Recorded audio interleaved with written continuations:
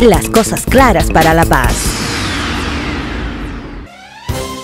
Continúa la mejora integral de la avenida Landaeta. El tramo entre la calle Warnes y la Jaimes Freire es asfaltado. Luego se intervendrá entre la Verdecio y la Eduardo Rojas. En esta última fase tenemos 4 millones de inversión que consiste en, el paquete estructural, eh, las obras complementarias, eh, también vamos a hacer tendidos de alcantarillado pluvial sanitario y agua potable en los, en los sectores que haga falta.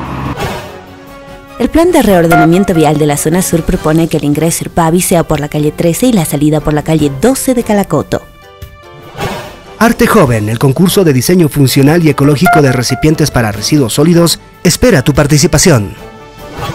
Toda la información para la larga noche de museos se encuentra en una aplicación para celulares que puede ser descargada en www.lapaz.bo. Las cosas claras para la paz.